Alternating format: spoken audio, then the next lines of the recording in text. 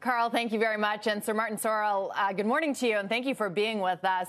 Um, as Carl just mentioned, the upfronts is getting underway this week. So, first, very broadly, what are you seeing in the ad market at the moment? Is it still softening, or are you seeing signs of improvement? Well, Deirdre, it's, it's afternoon here in London, so good afternoon. Glad to be with you. I think the the answer is Q1 uh, was a little bit slow. We saw sales cycles lengthen.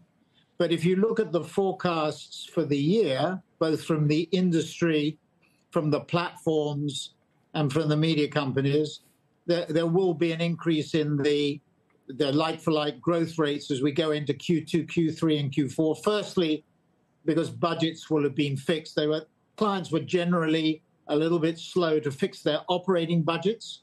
They they fixed them in the first quarter of this year rather than the last quarter of last year, not just the marketing budgets, the operating budgets that came from them.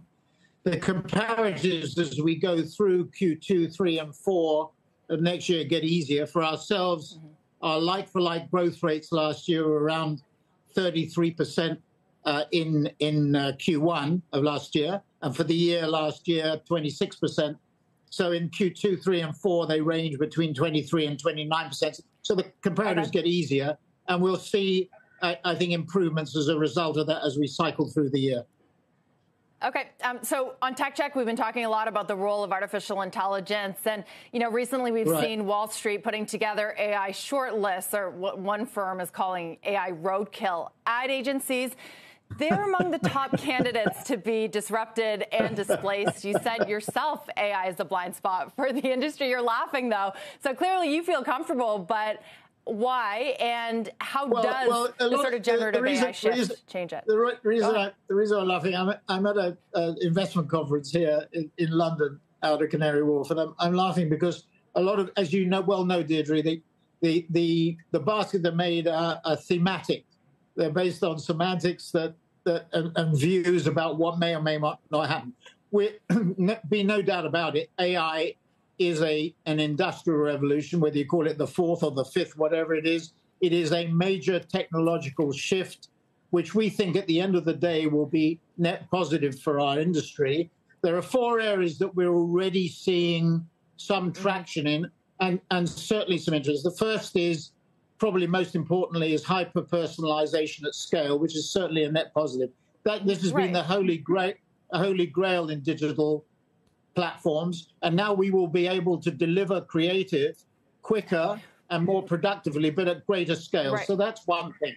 Secondly, well, Martin, let me, let me just ask you there, though. Even the creative yeah. side of things, and I, and I think a lot mm-hmm. of things you're going to name, certainly the ad agencies have been doing it for a long time, but we're seeing big tech move into the space, Amazon giving tools that would essentially displace and eliminate the ad agency middleman. Well, so, how do you confront that? Well, you know, I think you're talking about small and medium sized businesses, and we tend to focus on the larger enterprises.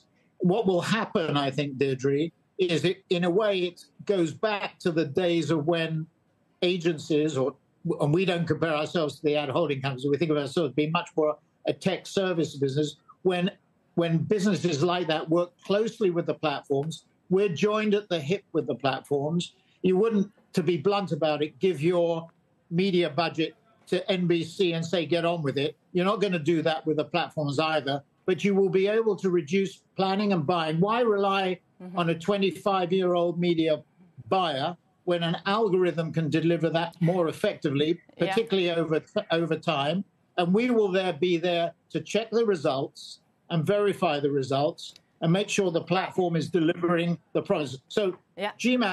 Which has been developed at Google for several years already, this is nothing new. Google's involvement in AI goes back to 2014. Mm-hmm. GMAX is a very good example where Google is building media planning and buying directly with clients through through agency partners, almost as resellers. There, I right. say it, in order to do it. So that's a second area where we see it. We well, see AI as a, a, super a super tool, which our clients, our people Martin, can use. We are to improve we're running out of time.